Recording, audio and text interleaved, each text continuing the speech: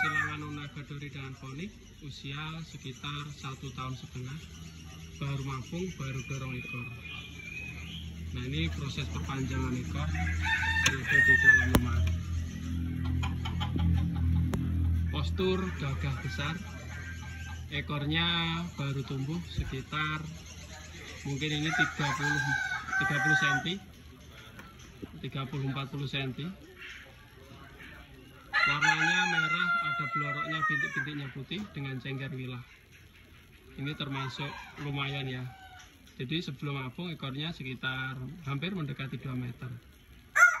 Semoga saja ini nanti kuat. Ya lebih dari itu ya. Posisi masih perpanjangan ekor. Kita ke situ lagi ya. Ganti sebelahnya